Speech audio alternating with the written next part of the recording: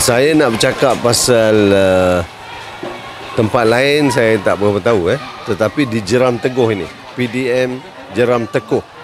Setakat ini kita tengok sambutan cukup cukup baik ya. Dan uh, kerja kempen ni telah dijalankan oleh ramai pihak dan uh, feedback yang kita dapat cukup memberansangkan ya. Banyak yang dulu tak puas hati dengan UMNO sekarang dia dah mula sedar dan banyak yang dah mengaku bahawa mereka akan menyokong Awi ni ya. Adik Awi ni sebenarnya dia cukup popular di kawasan ini. Dia telah beri servis di kawasan ini selama tujuh tahun pun ya. Jadi malah bila kita pergi mana-mana tempat ni semua kata oh ni Awi ni baik.